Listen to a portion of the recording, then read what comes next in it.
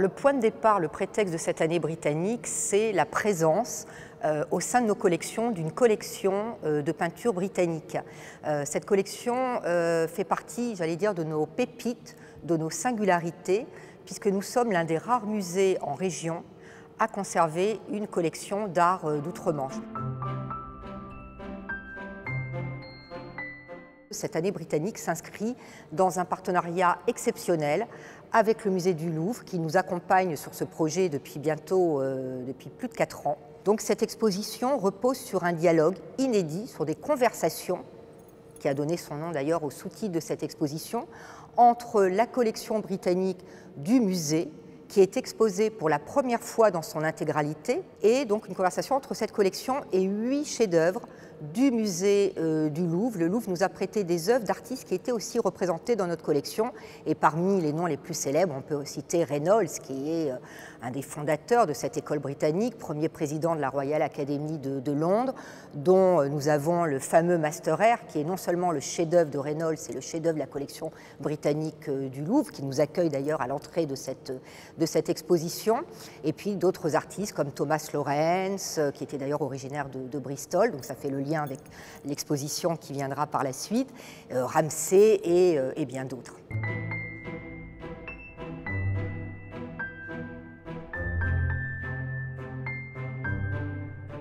Comment s'est constituée la collection britannique du Musée des Beaux-Arts de Bordeaux? Tout d'abord, il y a une première euh, donation qui est effectuée au tout début du 19e siècle par François-Lucie Doucet de tableaux de Zoffany, qui est un artiste très important pour euh, l'art britannique au XVIIIe siècle, mais qui à l'époque ne sont considérés que comme des œuvres germaniques. La date qui scelle l'entrée de la collection britannique au musée, c'est après la Seconde Guerre mondiale, c'est dans le cadre de la récupération artistique des œuvres et plus particulièrement euh, de ce qu'on appelle les MNR. Donc les tableaux MNR sont des tableaux euh, musées nationaux récupération.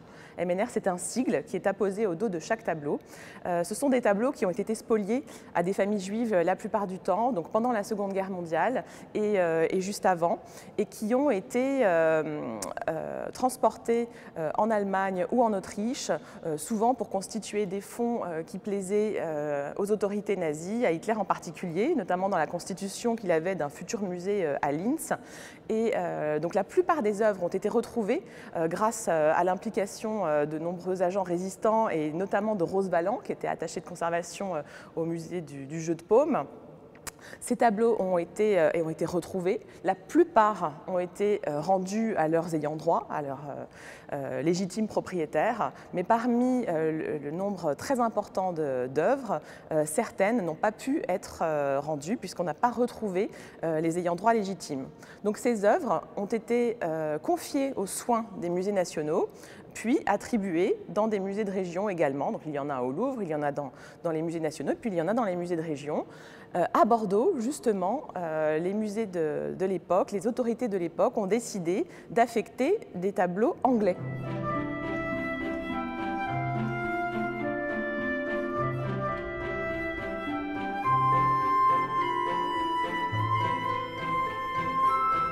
Donc ici, nous sommes euh, dans l'exposition British Stories, qui est vraiment consacrée euh, à notre fond d'art anglais. Et l'idée n'était pas de faire une rétrospective sur l'art anglais. Ce sont des expositions qui ont déjà pu avoir lieu. Euh, il ne s'agissait pas ici de, de, traiter ce sujet, puisque nous sommes dans un contrepoint avec l'exposition sur l'école de Bristol. Mais au contraire, ce qu'on voulait faire, c'est montrer au public une collection dans son ensemble. Et ça, c'est assez rare finalement, parce que forcément, dans les musées, on fait des choix. On, on ne présente jamais l'intégralité de collection. Donc avec notre euh, collègue Guillaume Farou, qui est conservateur des peintures françaises euh, du XVIIIe siècle au musée du Louvre, mais aussi des peintures euh, britanniques et américaines, nous avons réfléchi à la constitution de, cette exposition. Donc il s'agissait évidemment de montrer notre fond, mais essayer aussi d'en démontrer les points forts et les caractéristiques principales. Et pour cela, nous avons décidé donc de faire appel à la collection anglaise du musée du Louvre pour renforcer ces points forts, et notamment autour du portrait et de la peinture d'histoire. Il y a des noms très important dans notre collection et ces mêmes noms sont représentés au musée du Louvre. Donc on a voulu non pas aller piocher dans la collection du Louvre des œuvres qui viendraient compléter pour faire un panorama, mais au contraire renforcer euh, les éléments que, l'on avait déjà et qu'on pouvait faire euh, dialoguer. On a par exemple donc plusieurs tableaux de Thomas Lawrence, plusieurs tableaux de Joshua Reynolds, plusieurs tableaux de Benjamin West, voilà, des noms qui ne sont pas très connus, euh, qui dans la peinture anglaise sont par contre au summum de la qualité artistique et qu'on va pouvoir faire dialoguer les uns avec les autres.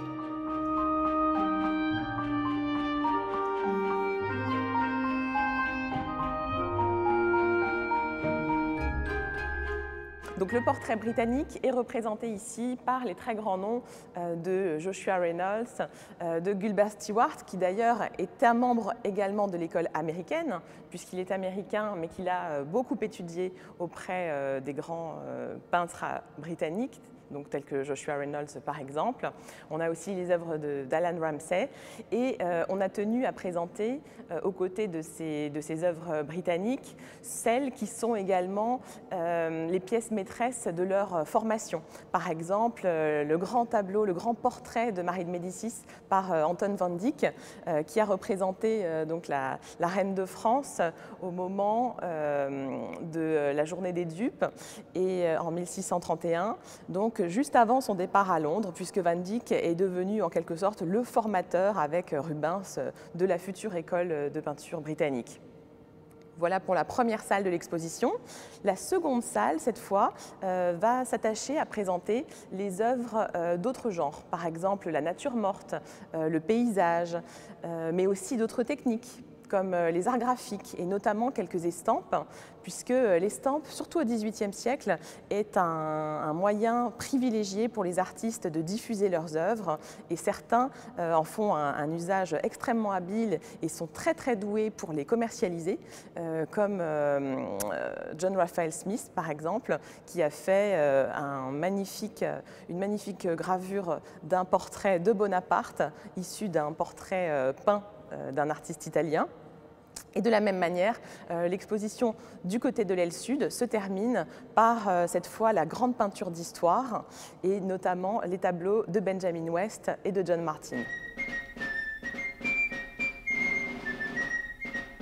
Le fond d'art britannique du musée est surtout constitué d'œuvres du XVIIIe et du début du XIXe siècle. Néanmoins, il y a également euh, quelques pépites euh, que l'on trouve très très rarement dans les collections françaises qui vont jusqu'au XXe siècle, euh, suite à des achats de Gilberte Martin-Méry justement au XXe siècle, au moment de la création de l'œuvre. Je pense notamment aux œuvres de Victor Passmore dans les années 1960, qui est un constructiviste britannique, qui était une figure majeure pour ce mouvement et dont on a euh, justement l'opportunité de pouvoir présenter euh, le travail euh, ici au Musée des Beaux-Arts. C'est avec l'œuvre du Musée des Beaux-Arts de Lyon, la seule que l'on connaisse dans les collections publiques françaises. Je vous propose de regarder un petit peu plus précisément un tableau de Sir Joshua Reynolds, qui était un grand professeur à la Royal Academy. Joshua Reynolds était l'ami de l'architecte William Chambers, qu'il a représenté sur ce portrait. Il a fait plusieurs portraits de, son ami, qui était également le trésorier euh, de la Royal Academy. Donc c'est vraiment autour de la constitution de ce monde que repose euh, ce tableau. Et plusieurs euh, tableaux ici dans l'exposition font référence aussi à la Royal Academy. Et de nombreux professeurs et de nombreux présidents de la Royal Academy sont représentés, tels que Thomas Lawrence ou encore Benjamin West auparavant. Ce qui est intéressant, c'est que William Chambers ici apparaît en fait euh, un peu en arrière-plan d'autres tableaux, notamment euh, deux tableaux de Benjamin West. Alors cette fois, euh, il s'agit donc d'un autre président de la Royal Academy, d'un grand chantre du néoclassicisme euh, qui a promu euh, ce mouvement euh, dans toute l'Europe.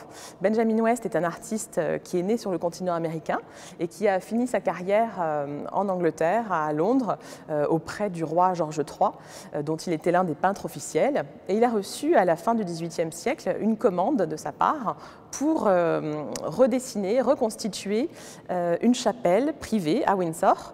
Et donc il a créé tout un ensemble d'œuvres euh, autour du thème de la religion révélée. Et l'architecte à qui on a commandé les plans de cette chapelle n'est autre que William Chambers.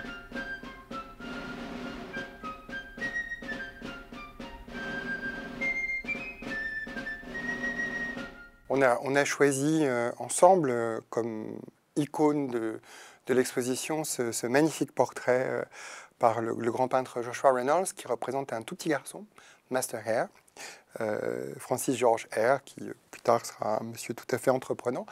Euh, c'est un petit garçon bouclé avec une jolie robe, parce qu'il a deux ans.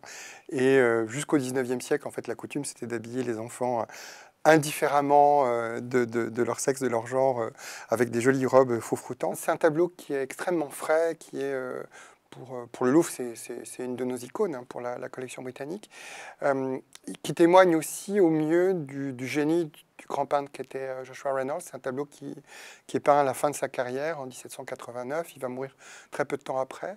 Et il a, euh, au fond, c'est un, tableau qui offre la quintessence de son art, c'est-à-dire euh, sa maîtrise incroyable à, capter la personnalité de son jeune modèle, mais il a, aussi la capacité d'atteindre à l'universel. Qu'est-ce que c'est que l'enfance, qu'est-ce que c'est que cet appétit de découverte du monde, et avec une, technique et un style qui sont les deux absolument éblouissants, c'est-à-dire qu'en quelques coups de pinceau extrêmement vif, pertinent, euh, toute la vivacité de, de, ce modèle et de, ce qu'il exprime est, euh, captée.